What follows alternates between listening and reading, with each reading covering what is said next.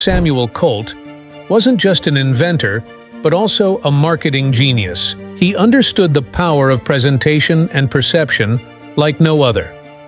In the mid-19th century, when his revolutionary revolver was struggling to find its market, Colt embarked on a campaign that would embed his name in history. He leveraged flamboyant demonstrations, shooting exhibitions that wowed crowds and proved his revolver's unmatched reliability and firepower.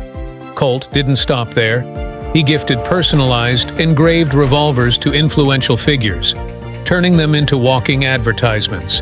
His use of art, in catalogs and advertisements, painted his revolvers not just as weapons, but as masterpieces of American innovation.